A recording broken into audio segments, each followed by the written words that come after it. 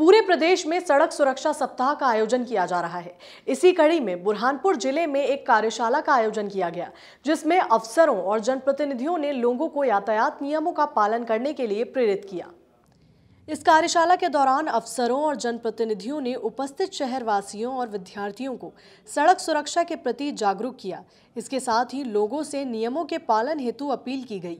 इस दौरान कलेक्टर राजेश कुमार कौल ने लोगों को संबोधित करते हुए वाहन चलाते वक्त मोबाइल नहीं चलाने की समझाइश दी। वहीं एसपी अजय सिंह ने कहा कि इस कार्यशाला के बाद दूसरों को भी नियमों के प्रति जागरूक करें। जो सड़क सुरक्षा सप्ताह का उद्घाटन कार्यक्रम था। यद्यपि ये एक औपचारिक कार्यक्रम था। हम वर्ष भर प्रतिबद्ध हैं कि यातायात नियमों के प्रति जागरूकता के कार्यक्रमों को लगातार प्रचार प्रसार जनता के बीच में करेंगे। हाँ तो जो कार्यक्रम हुआ बहुत अच्छे लेवल पे कार्यक्रम हुआ है। जी हाँ ये बुरहानपुर की जनता का सहयोग है कि जिसकी वजह से ये एक अच्छा कार्यक्रम हम आज कर पाए हैं। अच्छा सप्ताह भर क्या क्या गतिविधियाँ की जा रही है?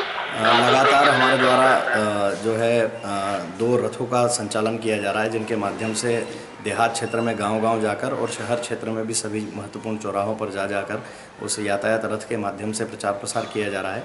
उसके साथ ही एक रूपरेखा के माध्यम से जैसे स्कूलों में निबंध प्रतियोगिता, चित्रकला प्रतियोगिता और अन्य माध्यमों से भी हम यातायात नियमों का लगातार प्रचार प्रसार कर रहे हैं।